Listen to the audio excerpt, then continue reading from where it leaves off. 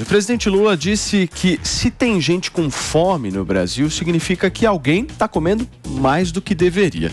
O discurso foi feito durante a cerimônia de recriação do Conselho Nacional de Segurança Alimentar e Nutricional. E a gente vai trazer esse tema para discussão agora, certo? Afinal de contas, nós temos uma sonora, certo, Mari? Então vamos rodar porque eu quero verificar se eu preciso pedir desculpas à nossa pátria. E se nesse país a gente produz alimento demais e tem gente com fome, significa que alguém está comendo mais do que deveria comer para que o outro pudesse comer um pouco. Significa que nós estamos desperdiçando alimento entre a produção e o consumo. Significa que alguma coisa está errada. E a mais errada de todas é que as pessoas não têm dinheiro. Muito bem, meus amores. Perdão, Felipe Campos. Imagina, mas olha. Eu é, queria muito pedir desculpa. No jantar a gente vai começar a eleger alguém para deixar a mesa. Agora eu quero Ou entender. sair de casa, né? Eu quero entender o seguinte, meu querido Elton John. Quem nesta bancada vai assumir a culpa dessa história? Porque eu quero apresentar. eu não tenho como quero fugir. Mano, se o Lula te ver, meu, você tá fora do Brasil. Exatamente. Eu Gente, gostaria... eu sou magrela, mas como bem. Não. Eu gostaria de fazer apresentações aqui para vocês. É? Temos o nosso Zordon já preparado, Alexandre Borges. Fala, Lê, bom dia. Ótima quarta-feira para você. O nosso queridíssimo Mano Ferreira. Mano. E hoje temos uma convidada mais do que especial. Pois Gente, eu gostaria é, de apresentar Marina. a vocês Marina Helena, ela que é economista articulada, meu, uma mulher belíssima, vai fazer o programa junto Seja com a gente Seja bem-vinda, certo, Mar? Ah, um prazer estar aqui com vocês. Tudo bem, meu amor? Tudo ótimo. Pelo jeito você come pouco. Então, é isso que eu Não ia é falar. eu como bem.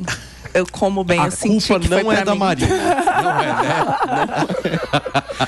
Mas, falando sério agora, vamos entender essa fala do Lula, porque ela é carregada de revanchismo, principalmente contra a classe média, né? Não, perfeito. Eu acho que está por trás de muito do que o PT pensa e é vocal, que é essa ideia de que para alguém ganhar, alguém tem que perder, né? Que não podia ser mais errada. Acho que, infelizmente, é, é triste. Eu, eu, eu ouvi falei, não é possível que ele tenha dito isso, isso é uma montagem. Aí eu fui atrás da íntegra, eu falei, ele falou mesmo. É, porque é, é, isso, não pode ser. As pessoas não passam fome porque outras comem demais, a gente sabe disso. Aliás, se fosse assim, a história da humanidade é cheia desses casos, né? Sempre foi dito que a humanidade ia passar fome porque as pessoas estavam eh, se reproduzindo, ia faltar comida no mundo. O que a gente vê é que não, que as pessoas, o empreendedorismo e tudo isso permitiu que a gente tivesse hoje, de fato, uma mudança de comida no mundo. Então o problema não é esse. O problema da pobreza é muito mais complexo que esse, muito mais complexo. E tentar simplificar assim, infelizmente, é muito ruim. Né? Ô, Manu, você vai pedir desculpa quando? Ô, Manu, mas primeiro você está agora, tá comendo acho. por quantos brasileiros? É, vamos fazer esse cálculo.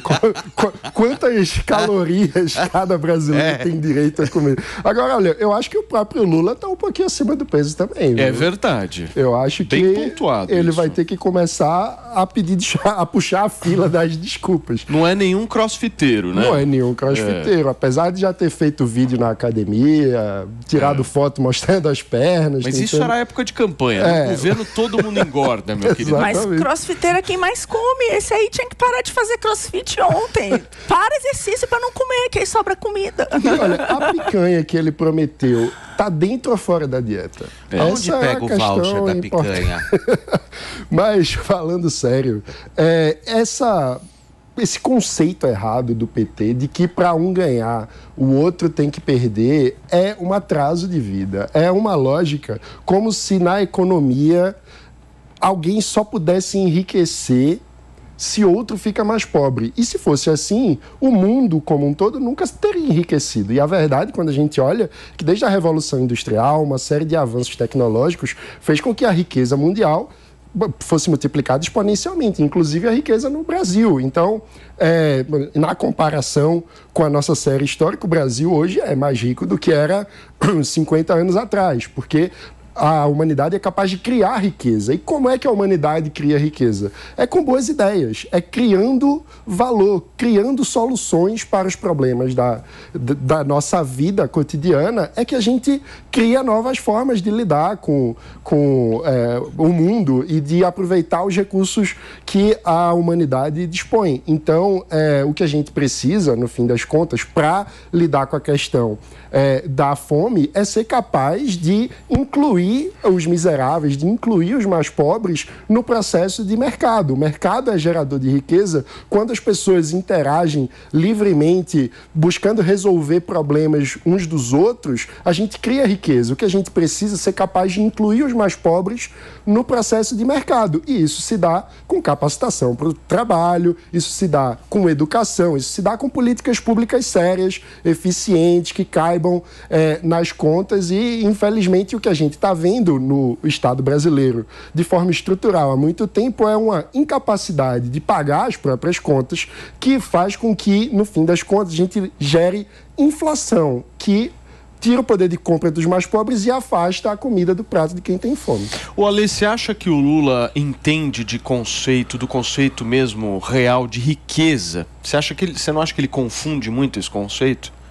Confunde ele e boa parte da esquerda. É uma pena isso. É, esse negócio se chama falácia da soma zero. O que, que é isso? É você achar que para um é, ganhar, o outro tem que efetivamente perder, que a quantidade de riqueza ou de comida é algo limitado, e não é. Então, isso, isso infelizmente é um problema. Isso, só para dar um contexto histórico, essa era a ideia é, é, econômica mundial do mercantilismo, lá da época das grandes navegações, da descoberta do Brasil e tal. O Adam Smith, em 1776, escreveu A Riqueza das Nações, e ele explicou, falou assim, ó, como é que uma nação fica rica? Qual era o argumento dele? Você se especializa em alguma coisa, aquilo que você sabe fazer bem, você vende, você exporta, faz dinheiro e compra o resto que você precisa é, é, o, a, parte da esquerda não entendeu esse argumento até hoje, depois de 250 anos. Então, quando o Lula diz que a gente produz muita comida e tem gente passando fome, ele não entendeu que a gente produz muita comida porque a gente tem muita terra e a gente sabe fazer isso. A gente exporta porque nós temos uma especialização, a gente tem um agronegócio muito desenvolvido e a partir desse superávit é, da balança comercial, é, a gente tem dinheiro para comprar coisas que a gente não tem, que a gente precisa, computadores, tecnologia, fertilizantes mesmo, até para a própria produção de alimento. Então é assim que a cadeia produtiva funciona no mundo. O, o, o Marx, lá no, no, Manifesto Comunista, no tempo dele, no século XIX, ele falava muito dessas besteiras. Mas muita gente da esquerda está parado até hoje nesse, nessa ideia e não aprendeu e não entendeu ainda o, eh, tudo que aconteceu no mundo em termos econômicos de 150 anos para cá. Então ele está muito errado no que ele está falando e não tem nada a ver. Quanto mais alimento a gente produz, melhor. Quanto mais a gente exporta, melhor, porque mais dinheiro entra no Brasil e com o dinheiro que entra, vira investimento, vira emprego, vira desenvolvimento. E a gente tem condição, inclusive, de fazer com que mais pessoas sejam incluídas no mercado de trabalho. Além disso, o Brasil tem Bolsa Família, o Brasil dá 600 reais para milhões de famílias. O Brasil tem essa ideia de que, mesmo com essa inclusão, com, com toda essa inserção, a gente precisa ajudar quem não tem nada. A gente já faz isso. Acha que tem que aumentar? É uma discussão. Acha que é, esse é o valor? Não é? Vai se discutir. Mas o Brasil sabe que tem que fazer as duas coisas. Tem que exportar o que sabe fazer e tem que dar dinheiro para quem não tem nada, para pelo menos ter o um mínimo de dignidade e para comer.